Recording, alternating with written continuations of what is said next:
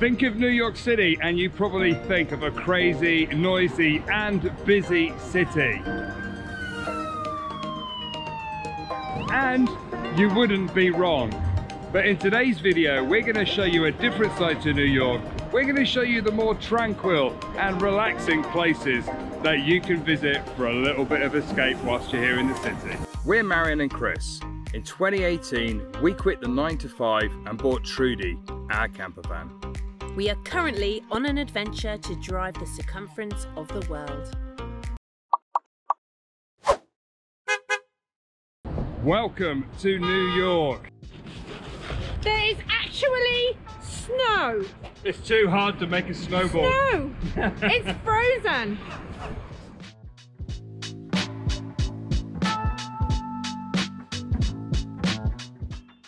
And you can tell it's going to be one of those days because Marianne's following the wrong person.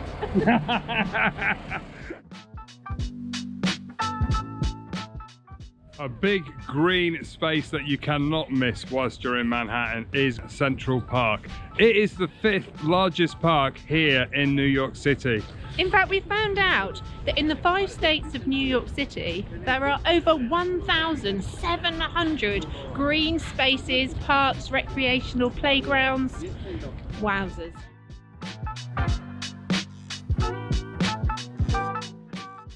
Just here in Central Park is the Chess and Checkers house and in the summertime you can actually go up and ask the attendants for chess pieces at which they'll let you borrow for free so you can sit out on a summer's day and play.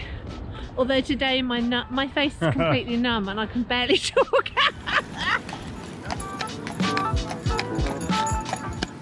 you know that in the summer this place would be absolutely packed with people having picnics and uh, really enjoying the sunshine and the greenery.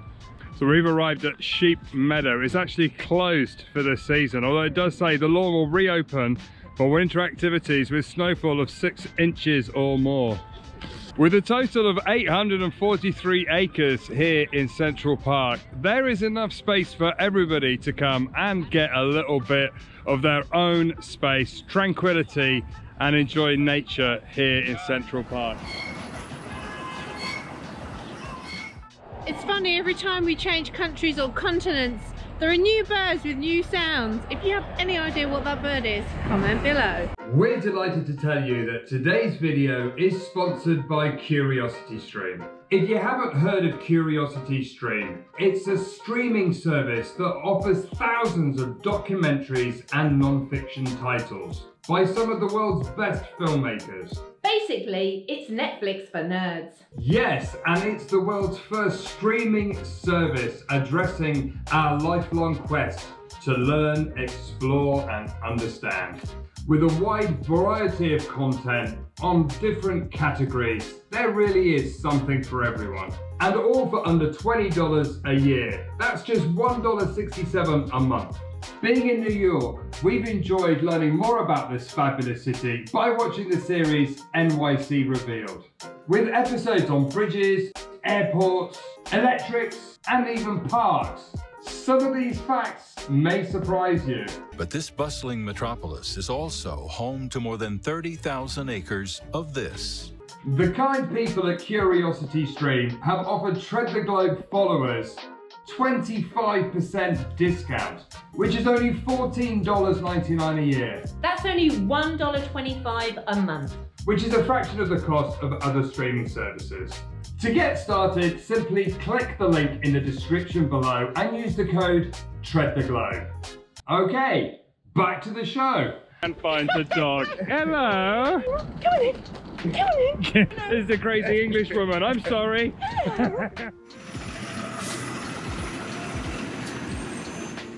So we're just walking past Times Square, the Brooklyn Diner here. That is a pretty impressive list of customers. Look, Matt Damon, LL Cool J, Ice-T, Chris Rock. Have you got a marker pen? I can write Tread the Globe. Tread the Globe, add to the list right here. There's space. It's funny walking along and just seeing, you know, you come across the occasional little building that's really quaint dotted between the skyscrapers and uh, Turnbull and Asser there with the Union Jack flag. looking pretty cool. And that's why we haven't brought Trudy to New York. If you live in a city, put in the comments below how much is one hour's parking. I'm not sure it's that expensive in London, maybe it is now.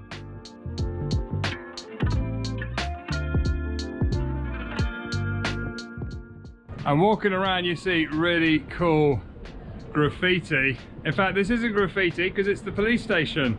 It's the 17th Precinct Police Station. So amongst all these high buildings, we found a little park called Paley Park.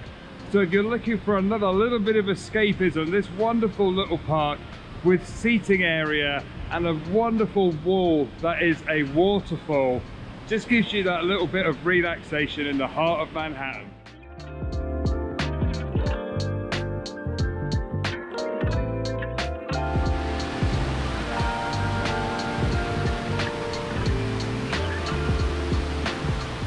Okay, maybe not everything is huge in New York. That's got to be the smallest police car I've ever seen. You can literally find anything in New York, including a national debt clock. We've come down to the vessel down here at the Hudson Yard. It is the main feature down here. This piece of architecture is very, very cool. It is actually closed at the moment to go in. But uh, if you get the opportunity, come down and check it out because it is an absolutely amazing looking place. It's Very- incredible! There's basically a series of walkways all going up here. A shiny, sparkly pine cone. So that although you can't actually walk up on all the steps, you can actually come into the bottom to have a look um, at the structure from inside. The other advantage is there's no wind.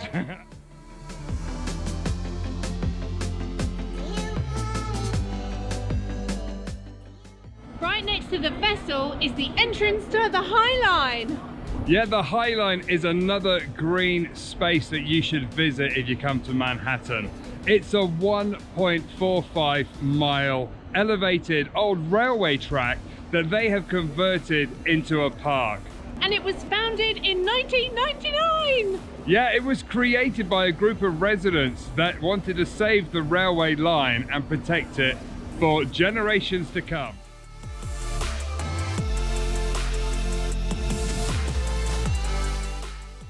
This whole walkway was once part of the above ground railway tracks there, which you can see this is a really great example. And now it's just a wonderful walk in the park.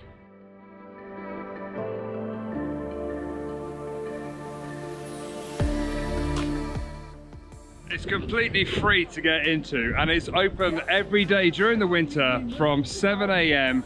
until 7 p.m. You get to walk the city without the hustle and bustle of the streets, all the traffic,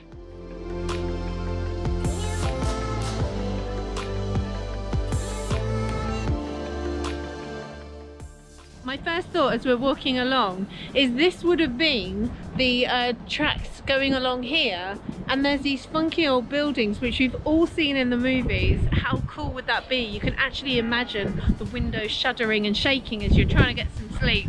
And walking along you can still see the old train tracks here.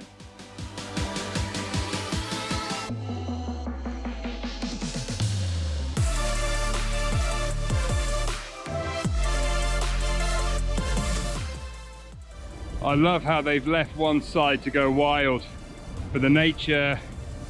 Look at that.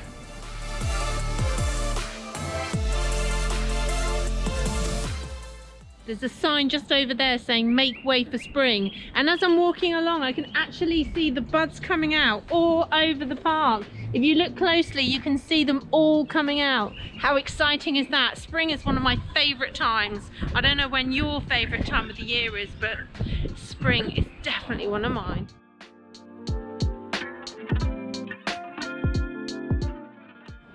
Chris and I are walking along and we just can't get over that this attraction, because it is an attraction, many people come here. It's free. It's gorgeous. But it's just such it? a nice way to walk around the city because it's so quiet compared to the streets without the traffic. And this is definitely, I would say, probably my favourite quiet spot in the city so far. Yeah, and I love that they've left the tracks in there. It really incorporates the whole feel of how they've restored it and they're loving it and looking after it.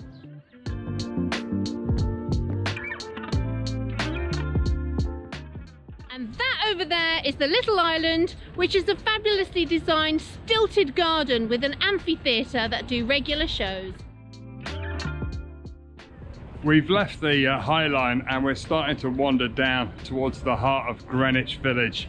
And I have to say that the streets here they've got a very different feel. There's cobbled streets. It feels much more relaxed than uh, the other side of Manhattan that we were earlier today. Although there is a sign that says meat packing um, area, which makes me slightly nervous because I saw a scary gangster movie very near here in the meat packing district.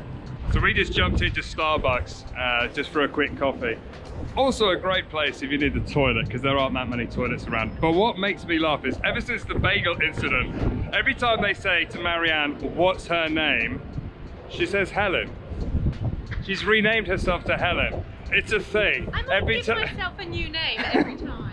ever since the bagel place and they're like, okay, your name's Helen. And they named her. So we've come down to the Greenwich Village area of Manhattan and these are the really cool buildings apartment blocks that you see on the TV with the steps outside the tree-lined streets this neighborhood's got a completely different feel uh, to the rest of Manhattan. This is how I imagined old, old parts of uh, New York to look like.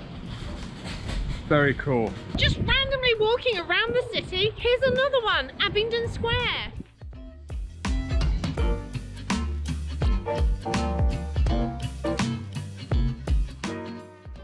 Another thing that is massively iconic to me is these fire escapes with the drop down ladders. Ah!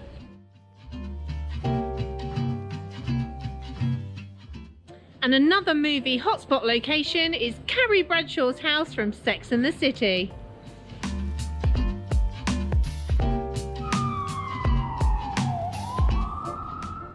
And if you're in Manhattan, New York, that's the Yankees. That is the baseball team of New York. This iconic street clock was actually made in 1909 by Tiffany. And that is the Flatiron Building. And right opposite the Flatiron Building, there's another park.